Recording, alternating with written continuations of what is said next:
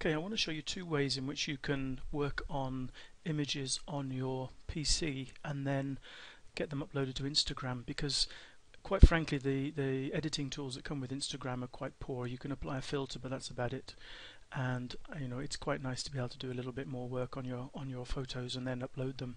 So there's two ways that I do it. Well, in fact there's only one way that I do it, but I want to show you two ways. The first way is using this tool here called BlueStacks and BlueStacks is an Android emulator that works on your PC.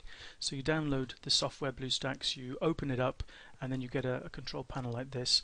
And from here, you can go in and you can do a search for applications on the Android operating system. So, for example, if I click on this Apps button here, I can then go in and I can actually search for Android programs to install and run on my PC through this emulator. Now you can see here I've already installed Instagram and if I click on the Instagram button you can see that it's now preparing Instagram for use and this will then log me into my own Instagram. I mean when you set it up and install it you're going to need to enter in your username and password for Instagram okay and here we are in Instagram. Now to get it to work with Windows so you can actually load images that you've got on your hard drive you need to save your images in your Windows photo gallery. That's usually in the users folder and then under your name there is um, a folder called pictures and that's where you want to upload your images to. Once you've done that you want to go over to your profile over here and then click on this button to take into the settings and then go down to camera settings and make sure that this is unchecked okay? Because when it's unchecked then when you click on this central button camera button you're given a choice. Do you want to pick a, uh, an image from the camera or from the photo gallery?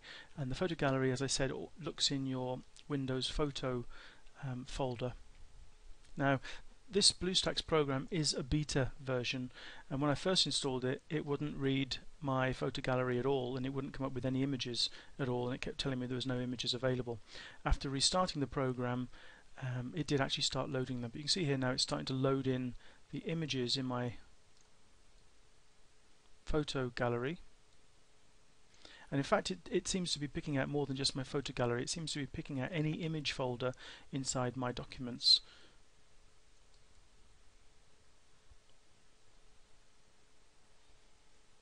Now the idea here is you just go into whichever folder has the images. I'll just pick one just for the sake of it. Okay, and let me just select that one. Now, as I said, this is beta and I have had problems with it. And one of the problems I've had with it is also in the images. When I put images onto my into my hard drive in that particular folder, the, the Windows Photo Gallery folder, they wouldn't appear once I click on the accept and we get ready to apply filter then the image doesn't appear. It just appears white here and looks like this one is the exact same is happening again. So for me this application doesn't work. For some people it does.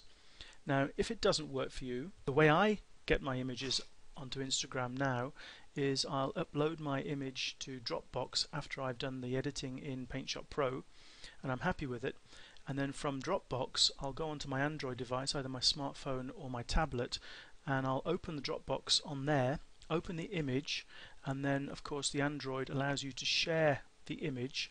And if you've got Instagram installed on your Android it'll it'll be one of the options to share. So you just say share to Instagram and then that image will open up in Instagram and you can share it that way. So that's how I do it from PC save to Dropbox and then open it on my Android and um, share it via Instagram.